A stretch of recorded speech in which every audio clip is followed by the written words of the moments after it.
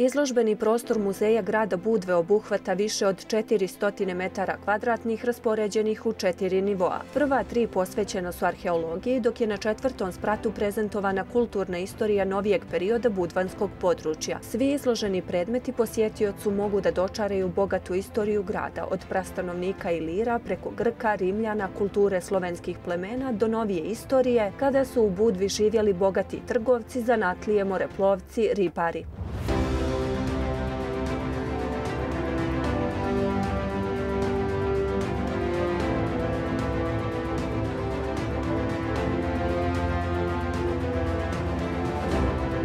U našem muzeju se nalazi arheološka i etnografska zbirka. E, u arheološkoj zbirci postoji preko 4000 predmeta, u etnografskoj između 2500 i 3000 predmeta, ali u svakom slučaju naš muzej je čuvar e, bogatog kulturno-istorijskog i arheološkog nasljeđa i istorije grada Budve. Muzej grada Budve 2005. godine u Londonu odlikovan je nagradom Zelena jabuka za očuvanje i razvoj autentičnih arhitektonskih i drugih kulturno-istorijskih vrijednosti. S obzirom na to da je najstariji predmet u muzeju e, ilirsko-grčki šlem iz 5. vijeka prije nove ere, mogu da vam kažem da su oduševljeni onim što je e, izloženo u postavkama i ono što mogu da vide i sve informacije koje mogu da dobiju o bogatoj kulturnoj istoriji našeg e, grada. Najveći broj predmeta u arheološkoj zbirci potiče iz Grčke i Rimske nekropole koja se nalazi pored hotela Avala, kaže Miličić. Istakla bih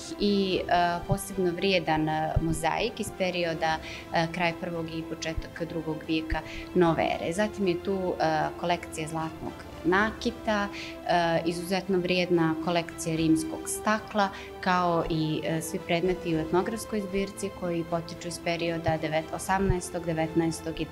vijeka. Ako govorimo o novim predmetima eh, ili bolje rečeno o nekim novim temama, izdvojila bih interesovanje za nematerijalno kulturno nasledđe ove oblasti, dakle Budvi i Paštrovića. Bilježenje elemenata nematerijalnog nasljeđa je ono na čemu kustosi rade već već godinama unazad. Miličić kaže da su na tu temu imali predavanja nakon kojih su uslijedile inicijative kao upravi za zaštitu kulturnih dobara. Dodaje da teže interpretaciji tih nematerijalnih elemenata nasljeđa u okviru etnografske postavke, a upravo na tome počiva savremena muzeologija. A rad kustosa i stručnog kadra usmjeren je ka povezivanju muzeja sa lokalnom zajednicom i inkluziji lokalnog stanovništva u interpretaciji lokalne kulture, zaključila je Miličić.